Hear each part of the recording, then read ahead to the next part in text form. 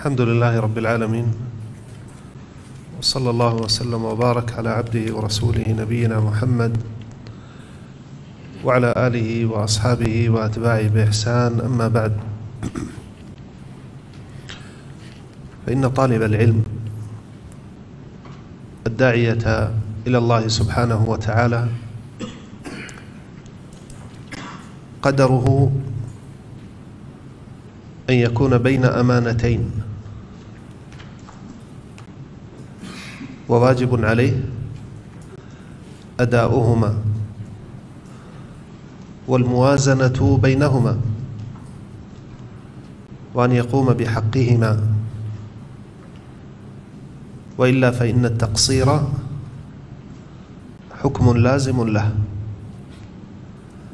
هاتان الأمانتان هما أمانة التحمل وأمانة الأداء. الله الله يا طلاب العلم بالعناية بأداء هذين الواجبين والقيام بهذين الحقين. فإن من الناس أعني ممن رسم نفسه برسم طلاب العلم من هو مضيع للأمانتين؟ ومنهم من هو قائم بأحدهما أو قائم بإحداهما دون الأخرى؟ والموفق؟ المسدد؟ هو الذي قام بالحقين وأداهما على الوجه المطلوب. التحمل تحمل العلم على وجهه الصحيح. وهذا شيء لم ينتهي بالتخرج في الجامعة أو بحمل شهادة عليا. من ظن أن مسيرة العلم قد انتهت بمثل هذا الأمر فليعلم أنه قد أخطأ خطأ عظيما. طلب العلم عبادة. ولا حد للعبادة دون الموت. أنت في سلوكك طريق الطلب سالك طريق العبودية. وهذا شيء لا ينبغي أن تتوقف المسيرة فيه. ومن ظن أنه قد بلغ الغاية في العلم فلا حاجة من التزود. فليعلم أنه الآن قد بلغ قمة الجهل. وهذا الطلب وهذه المسيرة ستشعر بحاجتها كلما أمعنت في المسير كلما سرت وكلما تعمقت. ستجد أنك بحاجة إلى أن تتزود في العلم أكثر. كلما أدبني الدهر أراني نقص عقلي وإذا ما ازددت علما زادني علما بجهلي. وهذا إنما يعرفه طالب العلم الذي أخذه بحقه. الإمام أحمد رحمه الله كان يسعى مع طلاب العلم ويسرع في الطرق لأجل السماع على الأشياخ. وهو في ذلك الوقت يشار إليه بالبنان قد بلغ الإمامة في الدين والناس يرحلون إليه من كل جانب ولا يزال يحمل محبرته ويسعى ويسرع في الطرق مع طلاب العلم لأجل السماع. فيقال له يا أبا, يا أبا عبد الله إلى متى وأنت مع هذه المحبرة؟ وتسعى في الطرق في السماع. فيقول رحمه الله تلك كلمة العظيمة مع المحبرة إلى المقبرة. وهذا الذي ينبغي أن يكون شعار طالب العلم مع المحبرة إلى المقبرة.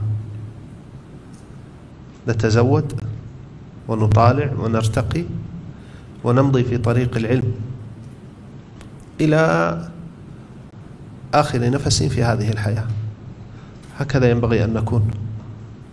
واعلم يا رعاك الله أن هذا الطلب لا بد أن يلقى أرضا صالحة وإلا فأنت تزرع في أرض لا تنبت.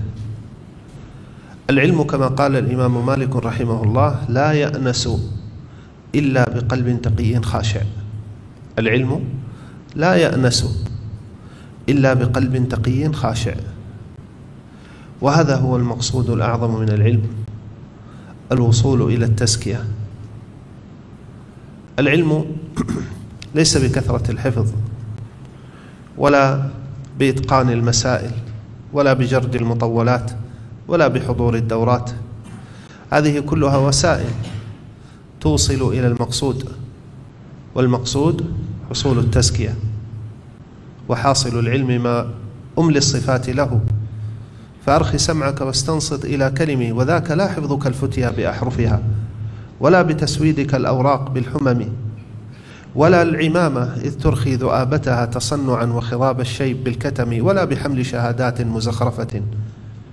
بزخرف القول منثور ومنتظم ولا تصدر صدر الجمع محتبيا تمليه لم تفقه المعني بالكلم. العلم ليس كل ذلك. بل خشية الله في سر وفي علن. بل خشية الله في سر وفي علن. فاعلم هو العلم كل العلم. فانتظمي هذا هو العلم. أن تصل إلى تزكية القلب والروح وتحقيق العبودية لله سبحانه وتعالى. وهذا التحمل يا إخوتاه لا بد أن يكون بالموازنة مع الأداء. فلا تستغرق في جانب على حساب جانب. من الناس من هو ساكن خامل كسول في الدعوة إلى الله سبحانه وتعالى بدعوى أنه يطلب العلم. ولذلك لا ينشط في تعليم الناس ولا في توجيههم ولا في الخطابة فيهم ويترك الناس تتخبط في دياجير الجهل وهو ساكن لا يتحرك. وهذا لا شك أنه خلل عظيم.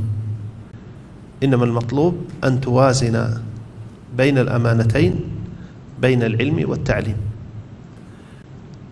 الواقع الذي نعيش لا يقبل شيئا والله من هذا التوجه الكسول. الواقع الذي نعيش يحتاج إلى اجتهاد عظيم في الدعوة إلى الله سبحانه وتعالى وتبليغ الحق. كن من أنصار الله يا طالب العلم. كونوا أنصار الله. بلغ كلمة الحق. انشر انشر ما يحتاجه الناس. ينبغي أن يكون في قلبك غيرة على حرمات الله عز وجل أن تنتهك.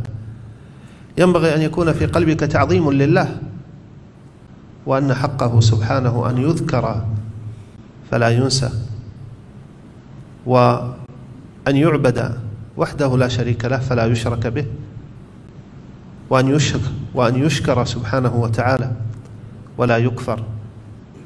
فإذا ما رأيت الناس محتاجين وهم كذلك في كل زمان ومكان. إذا كانوا محتاجين إلى العلم فانشر وابذل وأدي هذه الأمانة التي حملتها. فإن العلم يا رعاك الله شأنه عجيب. العلم إما أن يكون سبب سعادتك وإما أن يكون سبب شقاوتك. وهذا شيء في غاية العجب. لا تنفك من هذين. إما أن تقوم بحقه وتؤدي حقه. أمانة في التحمل وأمانة في الأداء وإلا فاعلم أنه سبب للشقاء. قال النبي صلى الله عليه وسلم إن الله يرفع بهذا الكتاب أقواما ويضع به آخرين. من لم يقم في هذا العلم بحقه فلم يتعلم أو تعلم وما أراد وجه الله. أو تعلم ولم يعمل أو تعلم ولم يدعو ولم يبلغ. هذا العلم في حقه سبب الشقاوة. أما من تعلم لأن الله افترض عليه ذلك فطلب العلم فريضة كما أخبر النبي صلى الله عليه وسلم. وتعلمه لله لا لغيره. ثم عمل بما علم ثم تواصى بالحق وتواصى بالصبر. وبلغ ما أوجب الله عز وجل عليه بلاغه فإنه سيكون من أهل السعادة. بل قد إنه بل إنه قد ارتقى إلى درجات عظيمة في سلم السعادة والتوفيق. المقصود يا إخوتاه أن علينا جميعا أن نتقي الله عز وجل في أنفسنا وأن نجد ونجتهد. اجعل شعارك في هذه الحياة أن حياتك لله. قل إن صلاتي ونسكي ومحياي ومماتي لله رب العالمين لا شريك له. ضع خطا واضحا عند كلمة ومحياي. محياك لله. تصبح وتمسي تستيقظ وتنام تقوم وتقعد وحياتك لله سبحانه وتعالى. ينبغي أن تسير فيها وفق أمر الله سبحانه وتعالى. أن تجاهد في الله حق الجهاد. وأعظم الجهاد في هذا الزمان ورب السماء. هو الجهاد العلمي.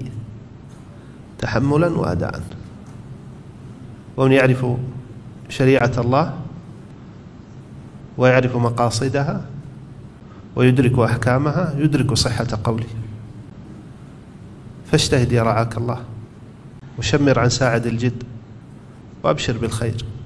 إذا أقبلت فالله سبحانه وتعالى شكور. يقبل عليك. ويمدك. ويعينك. فأما من أعطى واتقى وصدق بالحسنى فسنيسره لليسرى. أبشر بالخير. اجتهد. صحح نيتك وقصدك. واجعل في قلبك همة لطلب العلم الصافي المستمد من الوحي الصحيح. ثم بعد ذلك حكم هذا العلم في نفسك في قولك وعملك وبلغ الناس علمهم وجههم قل كلمة الحق. ولتكن دعوتك إلى الله عز وجل دعوة مباركة شاملة نافعة للجميع. ينال خيرها كل أحد الصغير والكبير والعالم والجاهل والذكر والأنثى والقريب والبعيد والسني والمبتدع الكل يستفيد من علمك ومن دعوتك ومن خيرك. احرص على أن تكون إماما في الحق واجعلنا للمتقين إماما. تأتم بمن قبلك من أهل الهدى ويأتم بك من بعدك. هذا من أحسن ما تفني فيه ساعات حياتك. ومن أريد وفق.